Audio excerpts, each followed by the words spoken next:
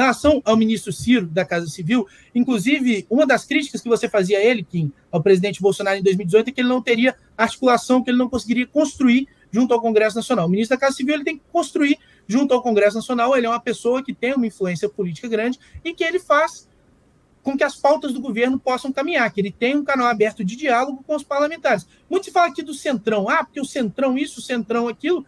Quem elegeu o Centrão foram os brasileiros, foram cidadãos que foram lá e votaram. E o presidente precisa lidar com o Congresso Nacional. E para fazer essa ponte, esse relacionamento com o Congresso, ele entendeu que o melhor nome ali era o Ciro Nogueira, que eu reitero, não tem nenhuma acusação contra ele no governo Bolsonaro. Bom, ele só é réu no maior escândalo de corrupção da história do país. Ai, mas do tempo além disso, Ali, não, na época do PT, depois do PT para agora, ele se tornou um novo homem. Para mim é realmente complicado essa argumentação. Agora, eu concordo plenamente que você precisa dialogar sim e que você precisa ter a articulação política com o Centrão. Agora, nomear um sujeito que foi réu no petrolão da Dilma, isso para mim é injustificável. E segundo, o Bolsonaro precisaria pelo menos reconhecer que o discurso dele de campanha é mentiroso, porque ele dizia que preferia é, perder a eleição do que ter que fazer o que outros governos fizeram, né, de ter essa relação com o Centrão nomeando, inclusive, gente que é réu por corrupção e lavagem de dinheiro. Dava para você nomear ministros é, vindos desse grupo chamado Centrão sem envolvimento com escândalo de corrupção. Por exemplo, a ministra Tereza Cristina, ministra da Agricultura,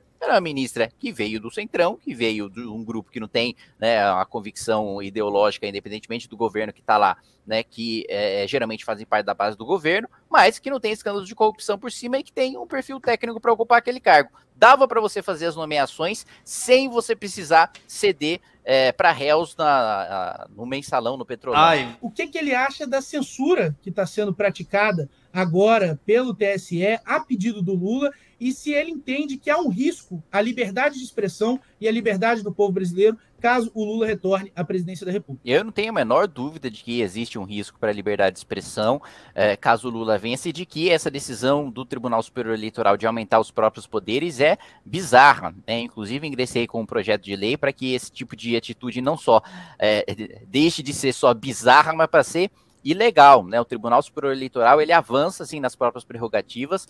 É, o Tribunal Superior Eleitoral ele agora é o que a gente chama de juiz Hércules, né? Ele mesmo vai lá e exerce o poder de polícia e ele mesmo pode censurar e tirar das redes aquilo que considerar. Aliás, se o TSE quiser tirar essa live do ar, eu chamo o Lula de ladrão, chamo o Lula de bandido, diz, diz, digo. Você quer que... me fuder? Vai pode... tirar o meu canal, porra, não faz isso comigo.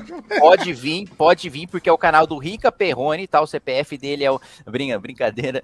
Mas é, é, continuo dizendo, continuo... e o Rica também, continua chamando o Lula de ladrão, independentemente disso, que eu acho que nenhum de nós três aqui. Eu não, é, parei. Deixa... Depois que ele foi descondenado, eu parei com medo de... de... de de, eu chamo o PT de quadrilha. Então, então, então eu, eu, na minha responsabilidade, pode vir na minha, na minha física, que eu continuo chamando de ladrão, eu continuo chamando de bandido, mas é, o meu ponto é que eu, eu acho um completo absurdo. Agora, Vamos lembrar que o Bolsonaro que mais utilizou o, ministro, o Ministério da Justiça para processar pessoas que ofenderam o presidente da República. Ele já mandou prender o sujeito que chamou ele de noivinha do Aristides. Então não é alguém que tem também é, é, apreço pela liberdade de expressão, que ele também utiliza os seus instrumentos, utilizou o, o, o ministro da Justiça para perseguir todos aqueles que o criticavam, para ir atrás de jornalista, para censurar é, artigo é, de opinião em, em, jornal e tentando conseguir decisões favoráveis, ou mesmo, mais uma vez, usando o Ministério da Justiça para isso, para achacar essas pessoas, e o Procurador-Geral da República também,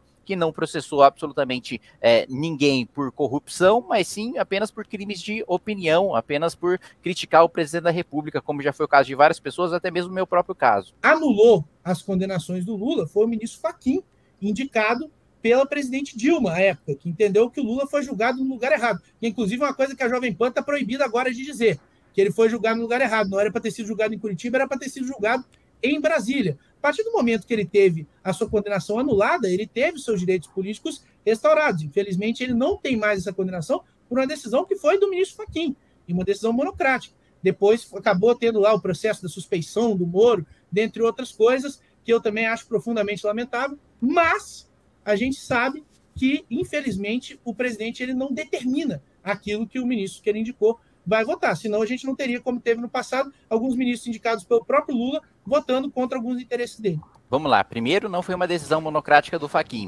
Foi uma decisão referendada pelo colegiado. Segundo.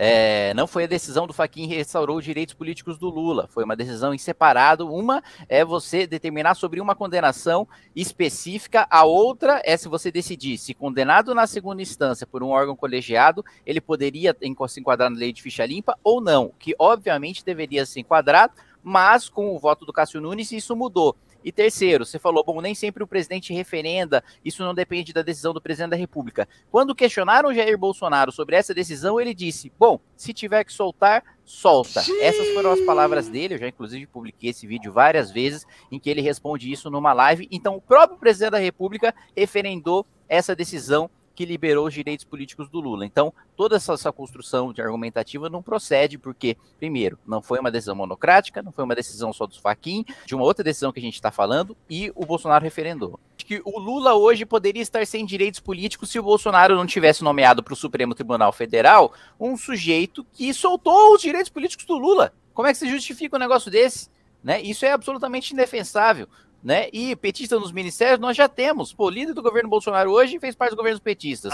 É, os ministros do governo Bolsonaro hoje, na Casa Civil, na Secretaria de Governo, nos principais ministérios-chave, fizeram parte dos governos petistas. O próprio Tarcísio fez parte dos governos petistas, vários nomes fizeram parte dos governos petistas e hoje estão tomados na esplanada dos ministérios. Ai. Então não é uma questão só de ah, polarização, né? De que um só existe por causa do outro. É porque efetivamente hoje o Lula só é candidato por uma decisão do Cássio Nunes, que foi ministro nomeado pelo Bolsonaro e se o problema está é, no Supremo Tribunal Federal, que eu concordo, você tem vários problemas do Supremo Tribunal Federal que precisam ser combatidos, por que, que o Lula nomeou um assessor do Toffoli e um sujeito que foi a indicação do Centrão, em vez de mudar o perfil do Supremo Tribunal Federal quando ele teve a oportunidade. O Lula Ai. só está disputando as eleições em razão do Bolsonaro. Né? Se não fosse o Bolsonaro, o Lula hoje ele sequer teria direitos políticos, porque Ai. o voto de Minerva, o voto para você recuperar os direitos políticos do Lula, veio com a indicação do Cássio Nunes para o Supremo Tribunal Federal. Quem mantinha o Lula é, sem disputar as eleições era o Celso de Mello. O Celso de Mello caiu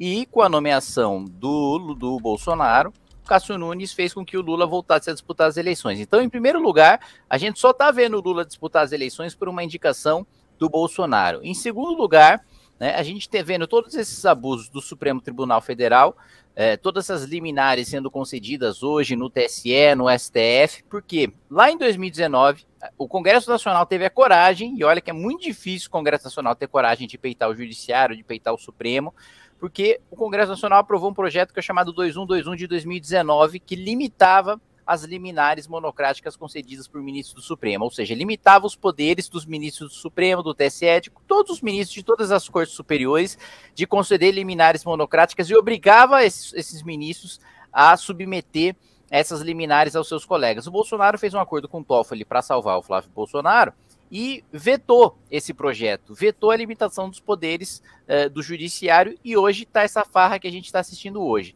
Depois, no quesito corrupção, hoje quem é o ministro da Casa Civil do Bolsonaro é o Ciro Nogueira, que é o réu no Petrolão.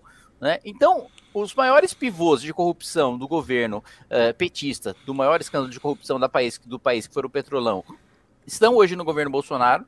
O Lula só está disputando a eleição por causa do, de uma indicação do Bolsonaro e os avanços do judiciário ocorrem não só porque o Bolsonaro fez um acordo para salvar a si próprio e a própria família, mas como ele também nomeou um PGR petista que concordou com o início do inquérito das fake news do fim do mundo. É isso, Quem?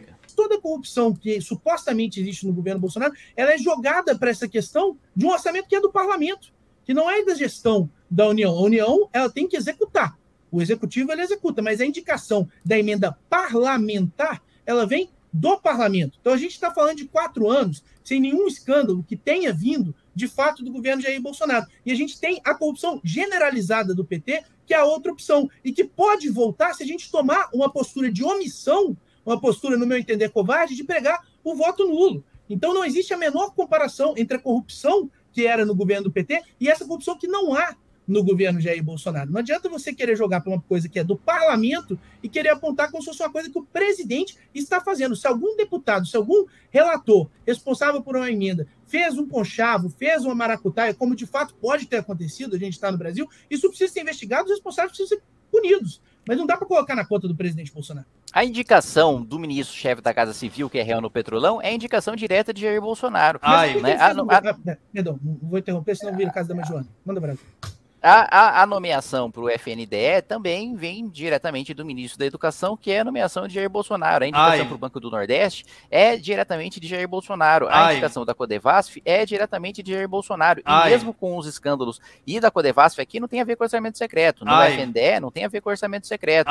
É, no Banco do Nordeste não tem a ver com orçamento secreto. Mas dá para responsabilizar sim Jair Bolsonaro pelos escândalos do orçamento secreto, porque foi ele que enviou o orçamento secreto pelo parlamento. Primeiro ele enviou e vetou vetou, depois ele enviou por duas vezes com a assinatura dele, do ministro-chefe da Casa Civil, e ele sancionou o orçamento e ele executou, e mesmo que não seja função do, do, do Planalto indicar ou não indicar as emendas do orçamento secreto, que eu sei que no final das contas, de pode ser, pode não ser no papel, mas de fato só recebe quem é da base do governo, é função deles fiscalizar para ver se o dinheiro está sendo enviado para um lugar correto.